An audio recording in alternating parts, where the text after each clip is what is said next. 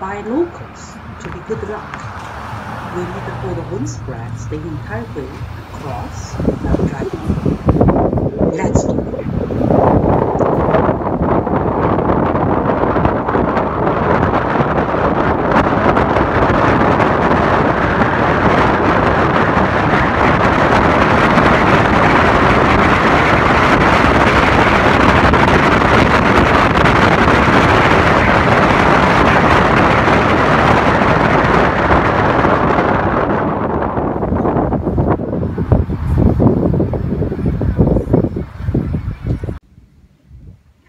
In Hartland of New Brunswick, Canada.